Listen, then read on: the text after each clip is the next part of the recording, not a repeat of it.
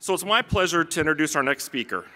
Dr. Maria Small is a maternal fetal medicine specialist with an interest in high-risk medical maternal conditions like hypertension, diabetes, preeclampsia, as well as being an associate professor of obstetrics and gene, uh, oh my gosh, gynecology. There we go. Oh wow. Um, at Duke University Health System. Thank goodness this is being taped. I can relive that forever. Um, she has the experience in designing care for women with high-risk gynecological and obstetrical conditions. Please join me in welcoming uh, Dr. Maria Small.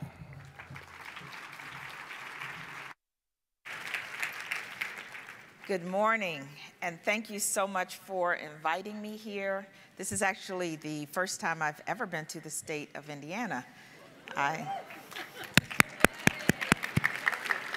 and I like it. So I'm going to take, hopefully, a little bit of a, a different approach. Um, there's no way I can um, surpass the information, the sharing we got from our, our last speaker, and I think um, he showed us how important it is to hear the stories from directly from our patients and family members related to this issue.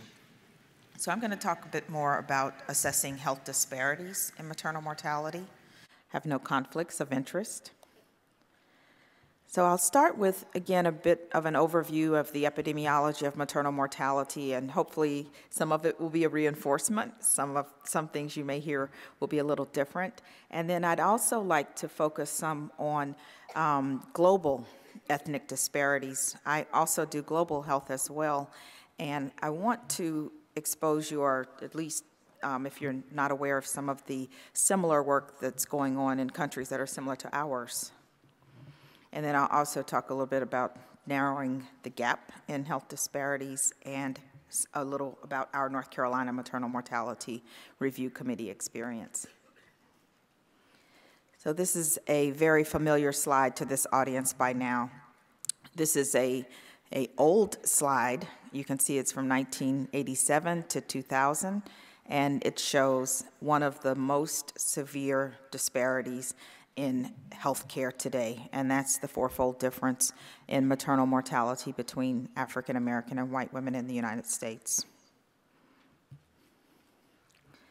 And I come to you again from the state of North Carolina. I don't know how many people saw the coverage of this article. Anybody? I know I can't see your hands that well, but I see a few. I almost want to say stand up, but you've already been up. So Vox published um, this, it's an online uh, publication stating black moms die in childbirth three times as often as white moms, except in the state of North Carolina. And the comment was that North Carolina was focusing on health outcomes, not on race. So I want to come back to that. So just file this. Just as a background, this is from our Green Journal, or the Journal of Obstetrics and Gynecology, and health disparities are differences in the burden of disease, injury, violence um, that are experienced by socially disadvantaged or vulnerable populations. And then health equity, as, as we've discussed, is the concept that everyone has the opportunity to attain his or her full health potential. It's almost like the Bill of Rights. We all have the right to um, attain our full health potential. And no one is disadvantaged because of social position or other predetermined circumstances. So many of you are familiar, or most people I think in this audience are familiar with the Millennium Development Goals.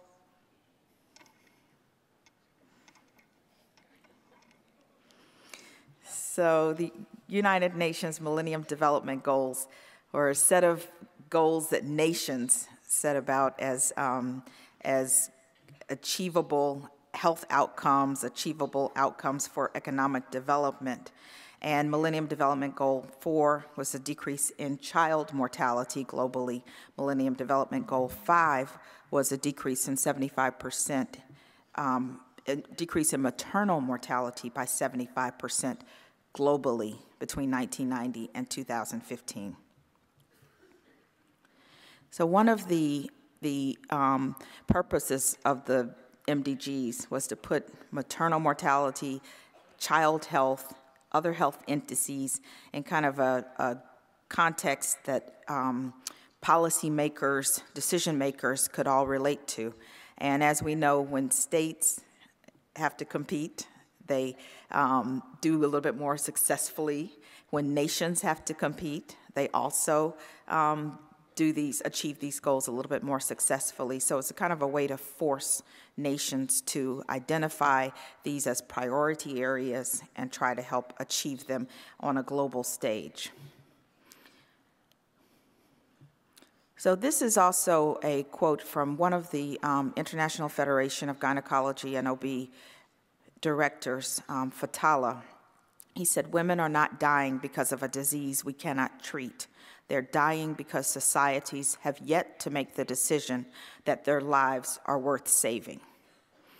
And this concept and this statement is one that preceded the MDGs, and it's one that, as you heard Charles Johnson say, is one that we have to still hold up today as a very important concept.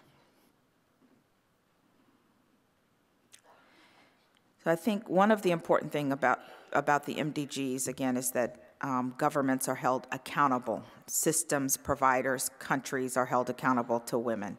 And another concept is the idea of promoting gender equity and empowerment for women and girls. And within that, other goals were infant mortality reduction, eradication of extreme poverty, um, environmental sustenance, and global development. Now those goals are sustainable development goals, and the endpoint is 2030. So one of the goals for maternal mortality is to reduce global maternal mortality to 140 per 100, sorry, 70 per 100,000 live births, and no country should have a rate more than 140. So those are the goals for 2030. I think Dr. Main did a beautiful job talking about our U.S. context um, in the in the center of a global context. So globally, maternal mortality decreased from 385 deaths per 100,000 live births to 216 in 2015. So that was about a 44% reduction. So overall, some nations met that 75% um, reduction. That was the goal of MDG 5, and many nations, like ours, did not. Um, so in high income countries, they decreased maternal mortality dramatically over the last 25 years. So most have rates that are anywhere from 3 to 12 per 100,000 live births. We, unfortunately, are an exception. We had, and depending upon which data source you use, um, about a 14% increase in maternal mortality over the last 25 years. And ours is unfortunately, and this is where we should feel shame. Um, ours is the highest rate of any of the high income countries in the world. And he actually showed you this in a much nicer slide, but um, this is the increase in maternal mortality over the last um, 30 years, and the, this is the picture that we're dealing with in the United States right now. So just to go back to how we describe maternal mortality for, particularly for people who may be new to maternal mortality reviews, to how we, how we um, discuss this um, concept. It's the number of maternal deaths over 100,000 live births. So that's the maternal mortality ratio. And the, the World Health Organization defines maternal death as the death of a woman while pregnant or up to 42 days post delivery from any cause except accidents or trauma. The majority occur within the first six weeks postpartum. And then, as you saw with conditions like late, like opioid use, many of those may occur up to a year postpartum. But the most commonly met, used metric that's, that compares across nations is that 42 days postpartum. And within those, we look at direct causes, which are direct obstetric causes like hemorrhage, sepsis, preeclampsia. And since 19, since 2012, um, the WHO also includes suicides in that, that category as well, largely in order to not misclassify or undercount those deaths. And then indirect causes are those that may not be directly as a result of obstetric etiologies, but may be exacerbated by pregnancy, like diabetes, obesity, cardiac disease. So the concept of pregnancy associated mortality takes into account both those direct and indirect deaths. And those are, this is the, um, the way that we, we count, if you will, maternal mortalities in the, in the U.S. now, and the way that many of our maternal mortality review committees are trained to review maternal deaths. So it's the death of a woman during pregnancy or within one year of the end of pregnancy. So in the U.S., with our CDC guidelines, we're going up to a year so that we don't miss many of those um, deaths that may be increased due to things like opioids or cardiac disease, because those are important. So that's the first step to identify pregnancy-related deaths. And then pregnancy-related mortalities are the deaths that occur within one year of the end of pregnancy from a complication or a chain of events initiated by pregnancy. So you also can have the concept of a pregnancy associated but not related death.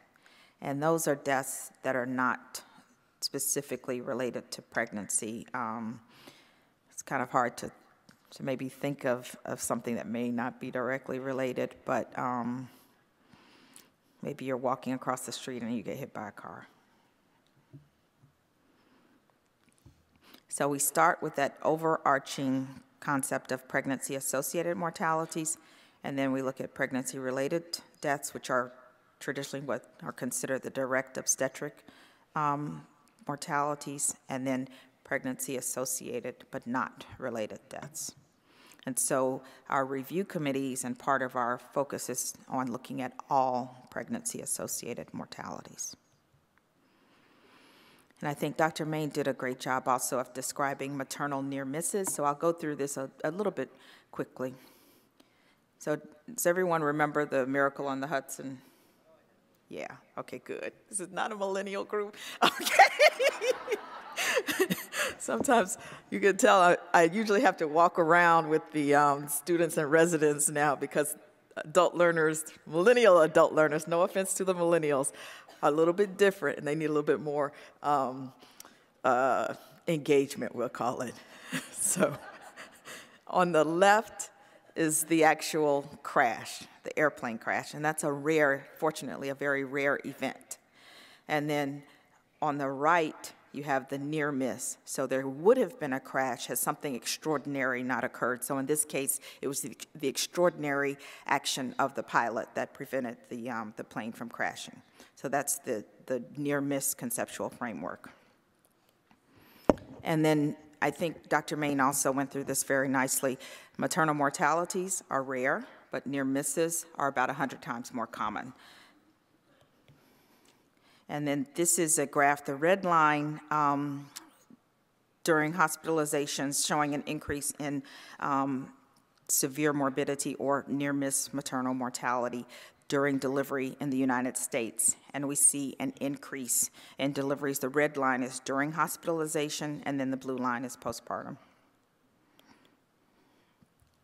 And then in, in, our SMFM and ACOG, many of you may be familiar with these criteria to kind of screen for near misses at a facility based level. They use the concept of four units of blood transfusion or admission to an ICU as proxies for identifying maternal near misses as a way to, to get a sense of how many you may have in your, your facility and then start a review process based on those.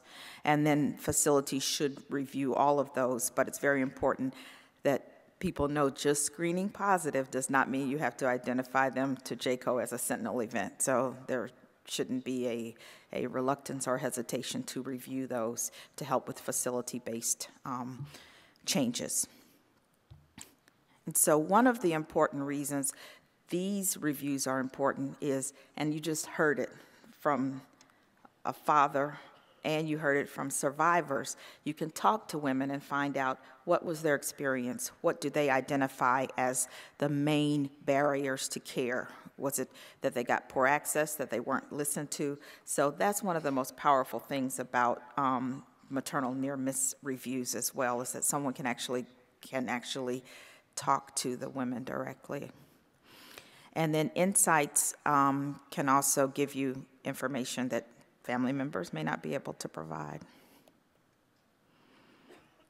So going back to the global map, the um, areas with the darker red color are the areas with the highest maternal mortality ratios, and the lighter colors are the ones um, with the lower ratios. And so you can see the sort of north-south disparity in maternal mortality and wealthy-poor nation disparity in maternal mortality. So the ones with the um, very dark red color have rates as high as 1,000 maternal deaths per 100,000 live births.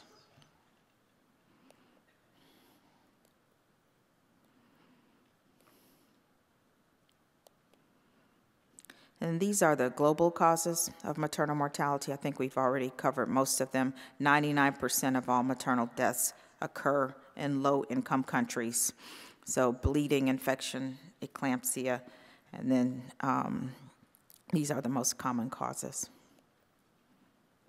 And then this is from the US, and this is older data. Pulmonary embolisms, or PEs, like what happened to um, Serena, leading cause of maternal mortality. So Serena was a near miss maternal mortality. And then at the bottom of this table, and these are data from 2003, cardiomyopathy was a leading cause, but not the leading cause. So keep that in mind. So this is a little bit, the table's a little bit busy from a distance here, but this is cause-specific maternal mortality in the United States 2006 to 2010. So if you look at the, um, the images, they're blocked according to different time periods from 1987, 1990 to 2006, 2010 and the area's hemorrhage, the blue line is the highest for hemorrhage in 1987 to 1990. And then if you look now, if you look at the purple, that's 2006 to 2010. Cardiovascular conditions and cardiomyopathy are the most significant causes for maternal mortality in the U.S. now when you look at cause-specific maternal mortality. So we've had a shift from what would have been called um, direct causes to indirect causes, or card cardiac disease essentially as one of the leading causes of maternal death in the United States. And you've actually seen this. Do you remember seeing it? This, so as you could tell, this is, this is um, a graph that we find very important in, um, in our area, and it's one, you've heard it already, basically looking at the top line, purple, again, 2005 to 2014, um, and then looking at all races and ethnicity, not the teal line, but the more, I guess, if you're familiar with North Carolina, the one right under it is Carolina blue, and that's Native American. And then the one below that all races and ethnicities is Duke Blue. So if you look at the top for African American women, that's the, um, the highest rate of maternal mortality in the United States. And then if you look by age and race ethnicity, look at the orange columns. So for orange columns, the age um, greater than or equal to 40 is orange. And if you look at that second grouping, that's for non-Hispanic black women, the maternal mortality rate is comparable to some of the rates uh, that are found in some of the poorest nations in the world. So the rate's almost 150 per 100,000 live births for African American women over the age of 40 in the United States. This is a CDC quote which I think you all are familiar with this concept now, race and ethnicity are not specific risk factors for maternal mortality, but they may be markers of social, economic, access, quality of care issues. So now I mentioned I would just indulge me for a minute. I want to just go through a few of the countries that have identified similar differences and how they've approached ameliorating, some of these disparities. So the United Kingdom has the oldest maternal mortality surveillance system in the world. They've had maternal mortality reviews since um, before 1950s. I think 1908 was the earliest one. And this is um, considered, they used to call this the confidential inquiries in maternal mortality. So they review all of the maternal deaths in the country in a confidential manner and make recommendations for maternal mortality reduction.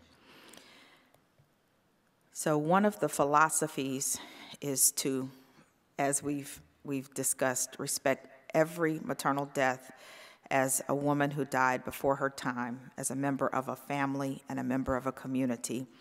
And it's beyond counting numbers um, to listening to the stories of women who died so that we can learn the lessons that may save lives of mothers and babies. And one of the main goals, of course, is to improve the standard of maternal health. So this is the, the UK confidential inquiry. Since 2012, they've combined the maternal mortality reviews with infant mortality reviews. So I wanted to show just a few um, slides about ethnic differences in maternal mortality in the UK. Before 2003, they didn't have racial disparities in maternal mortality because they didn't look at racial disparities in maternal mortality. So when they looked by race ethnicity, they found um, women from the Caribbean and from African um, descent had high, the highest rates of maternal mortality in the UK. And overall, those rates were about two to seven times those of white women. So they tried to examine some of the factors because they go into factors that may be related to particular outcomes. They found that um, that minority women often booked later for antenatal care. When they talked to um, to survivors or well to their family members, they also described experiencing feelings of disrespect in the healthcare system. And they also reported feeling like that the staff didn't really communicate well so that they could understand um, events related to pregnancy, labor and delivery, and postpartum. So at the end of every confidential inquiry, just like at the end of most of our state maternal mortality reviews, we make recommendations. So they recommended reorganizing maternity services, specifically targeting vulnerable populations, and then again to review these, um, these outcomes. So a few of the things they recommended in their setting were making sure that the systems were universally accessible. So this is a country already with universal health care. So even in the context of having universal health care, they had these health disparities. Um, and then they also recommended women have early prenatal care, so they have booking or entry to prenatal care by 12 weeks. And for those who did not enter by 12 weeks, they made sure they had an appointment within two weeks. And then women who were from um, areas where they may not have had uh, early primary care had to have a physical examination, which included a cardiovascular examination as part of their exam. So they actually reviewed their deaths from 2003 to 2013, and overall in the UK, they had a reduction from 13 to 11 but for women of African descent who had the highest maternal mortality rate, they saw the most dramatic drop in maternal mortality ratios. They also have a system of examining um, near misses as well.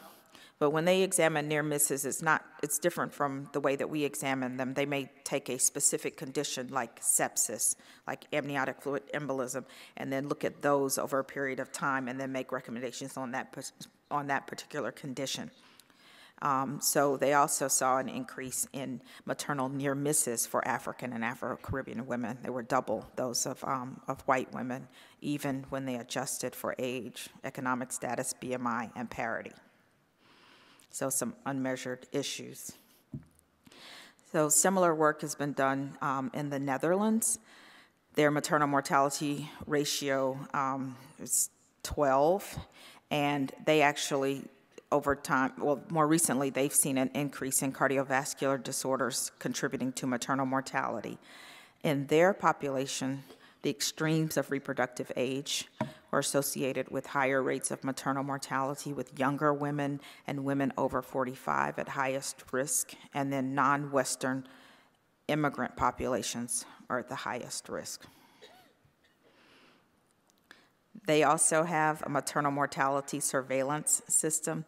And I'm just going to go to the main point. Um, they identified substandard care as a contributor in 80% of the cases, and that was mainly in management of conditions like preeclampsia. And then this is um, from one of the the authors of the work from the UK, from the Netherlands, and basically summarizing some of the data from Europe, looking at the Netherlands, UK, France, and ethnic differences in maternal mortality. And they see are shown some of the same same issues in health disparities that we've identified for a long, quite a while in the United States. So now I'm going to segue back to my state of North Carolina.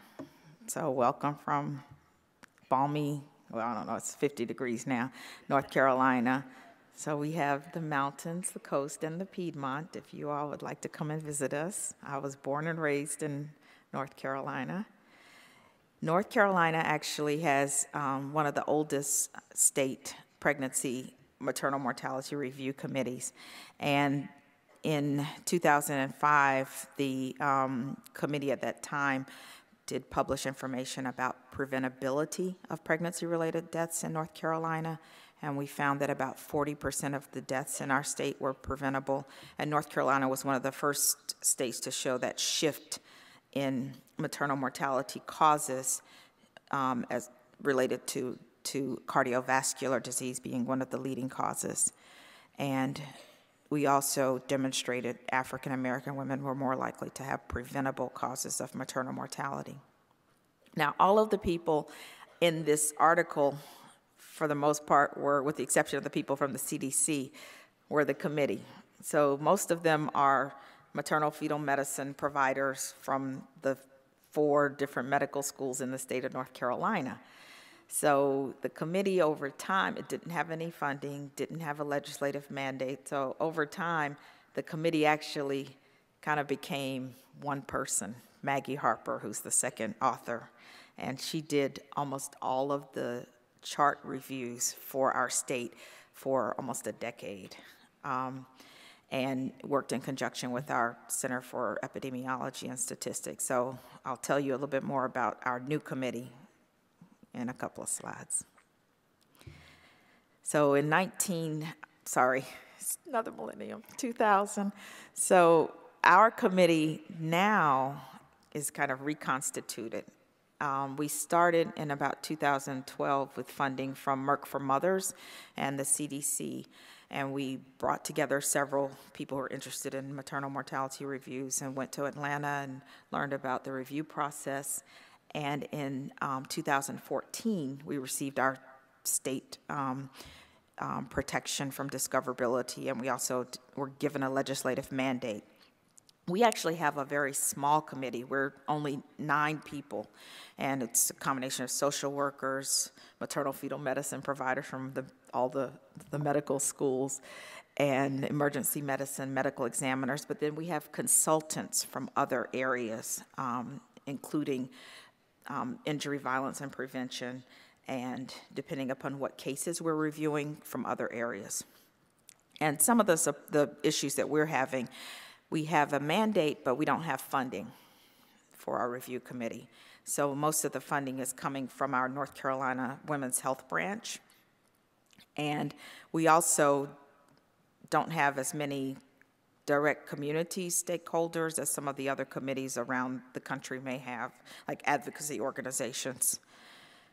So those are sort of our, our primary issues. And some of the challenges that we've had with getting records, we think may be related to the concerns about confidentiality still, residual concerns with some cases. So I'm going to just talk a little bit about um, race, ethnicity, and near misses and maternal mortalities as it relates to my state. So in North Carolina, the Hispanic population is one of the fastest growing in the United States. We had a 300% increase in the population over the last decade, and the majority were born outside the United States. And I think some of you, are you familiar with the Hispanic paradox? Is everybody falling asleep? Wake up wake up. So, the Hispanic paradox is this concept that Hispanics in the United States have better health outcomes than the average population, despite the um, aggregate socioeconomic determinants that would make you think otherwise. And we've seen this paradox in cardiovascular disease, preterm birth, low birth weight, infant mortality, and even maternal mortality, if you remember the slide that both Dr. Main and I showed. So the paradox is that these social determinants of health should um, mandate worse health outcomes. So women are younger, they may have later entry to prenatal care, no insurance. So in my state, women may receive um, emergency Medicaid for a short period of time, but then they don't have Medicaid throughout pregnancy if they're not um, citizens of the U.S. and have no, no means. They also have shorter interpregnancy intervals, lower levels of formal medical maternal education, and higher rates of formal employment. So some of the theories, one is the, that healthy immigrant effect. You're not going to leave your country of origin and go to another place if you're not healthy. And then another theory, maybe social network support are stronger, diet, lifestyle choices, less alcohol, tobacco, illicit drug use may be higher in, in that community. So in North Carolina, we have shown lower rates of preterm birth, infant and maternal mortality for Hispanic women than white and African American women, and this is work from my institution. But we also looked at near miss maternal mortalities in my, um, my um, Medicaid population at Duke in about 12,000 women. We examined near misses. And overall, we found for African American women, we did see higher rates of pregnancy related comorbidities like hypertension, diabetes when compared to white and Hispanic women but then near miss maternal mortalities in our population were higher for Hispanic women than African American women. So these are pregnancy complications for African American women, which are higher, but then near miss maternal mortalities were higher for Hispanic women. And then these are just the um, relative risk, showing a higher rate of maternal near misses. Go back.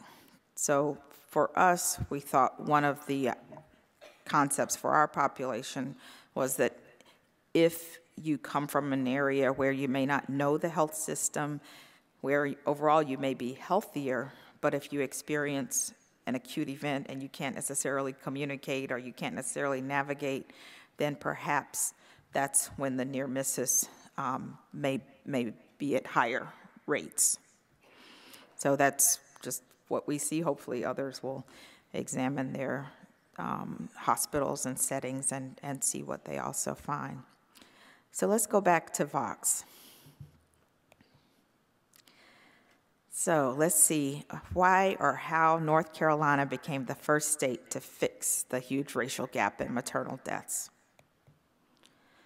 So the article showed that we focused on helping moms, not on race.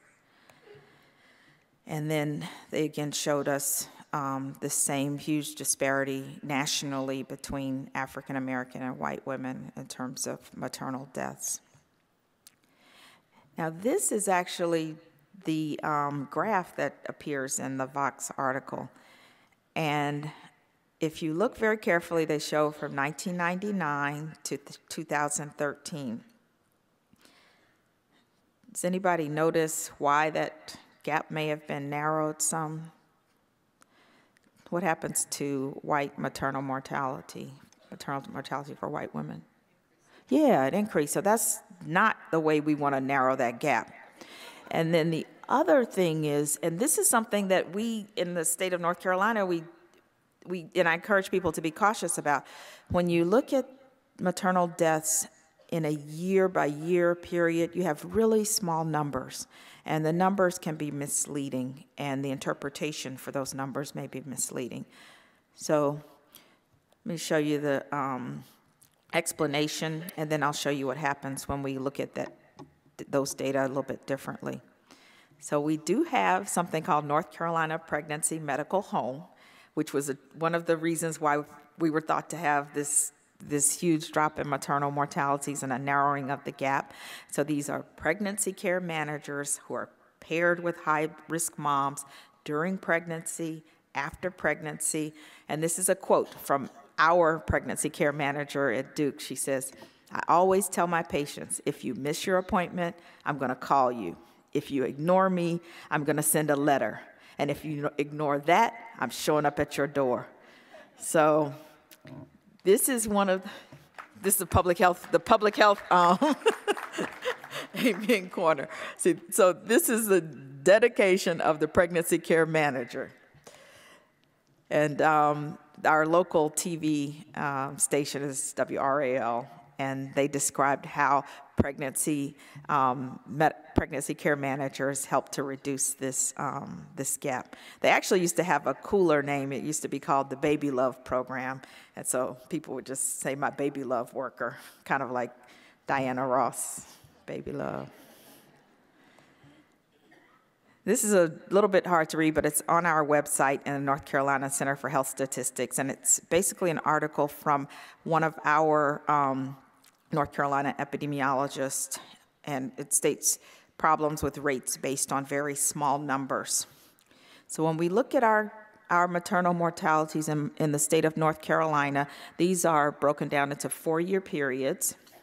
So they're showing from 1999 to 2002 on the far right, 2011 to 2014. If you look at those comparisons, although the numbers are decreasing, that disparity in African American, which is the um, gray column, and white women still exist. So this, for us in the state, was a lesson in how we present our data, particularly on our website, and how it may be interpreted, and how people can sometimes um, reach false conclusions. And for us, we still have a lot of work to do. And on that note, you've already heard an advocate who has done much more than, um, I, I, don't even know what to say. I'll just show you the pictures. So this is one I think you all probably saw that got a lot of people upset. California decided it was tired of women bleeding to death in childbirth, and Dr. Main told you what they did.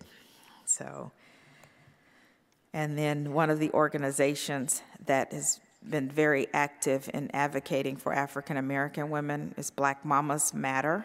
They'll also have a um, a national meeting in December in Atlanta. And one of the um, approaches that Black Mamas Matter has promoted is the idea of the human rights based approach to maternal health, that this is a human right. And maybe we should make it part of our Bill of Rights, that we have the right to health. So these are national strategies and recommendations. And I'll, I'll go through these from the um, Committee on Health Care for the Underserved. I've newly become a member of this committee, and they have some really nice articles if you haven't had a chance to look at them, and they're all in the ACOG website. So this is specifically related to health disparities. So their recommendations were raise awareness about racial and ethnic differences and disparities, which I think we've we've done and we continue to do. Um, understanding implicit bias and also training in implicit bias, using federal standards for the collection of racial ethnic data in order to identify disparities, educate patients on steps that they can take, particularly focused on health conditions that may differentially affect their, their health if they're from a um, racial ethnic group. And then recruitment of OBGYNs, healthcare providers from ethnic and racial minorities into um, academic and community medicine. And I'm not going to go back through the safety bundles. Dr. Main did that. The disparities bundle is one that I, is relatively new, but I think it's one that we should also examine. Every health system should also identify race, ethnicity, primary language, and put that information in the EMR. Tell patients why we're collecting this data, why we're trying to follow it and track, track it. Use best practices to share in decision making with our patients, and then engage patients, family, community advocates in partnerships to help with quality and safety initiatives. So they also say with every patient, family, staff, we should have education on implicit bias. We should be able to get records quickly in a simple format. We shouldn't have to dig through multiple different screens in our EMR in order to access information. And we should also have a way for staff, patients, families to let us know if they feel that they've had inequitable care. And responses, we should timely respond to inequity reports, address reproductive life planning, and then have discharge navigation, follow up, and materials that are at the health literacy and cultural language level of our, of our patients. And each system, just like you start, should have a monitoring process, outcome measures, quality improvement projects that target disparities, and a culture of equity. Maternal mortality reviews should continue to consider the role of race, ethnicity, poverty, literacy, and other social determinants, and that is part of the CDC's um, review package if you've used that or if you when you use that. I say if you've used that. I know that Indiana just did its first reviews yesterday. So that's why I said that. Yeah, y'all get a clap for that. So your I understand your committee just just formed, just got the legislative mandate and while I was here yesterday, you were doing your first set of reviews. So I feel like that was special. I was meant to be here. so in the um, review sheet, use the checkbox that identifies whether race, ethnicity, language, social determinants contributed to the death. And then if so, what system changes would you recommend? And those should come from each, each committee, each um, hospital.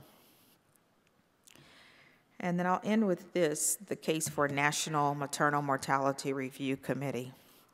As we've discuss, we have the highest maternal mortality ratio of any wealthy country. And Dr. Clark and Dr. Belfort in this article said this is a national disgrace and a human rights crisis. So we have an absence or lack of data on disparities, regionalization, transport, training.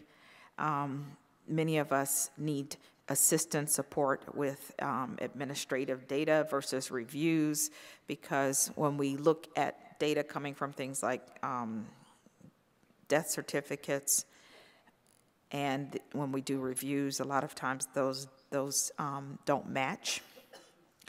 And we need to be able to have a national review process similar to what the UK has. We should really have that And at the end, they said it will literally take an act of Congress. And I think you already heard that. There are two bills in Congress that we should encourage our legislatures to act on um, House Bill 1318 and the Senate Bill um, 112. So, with that, thank you.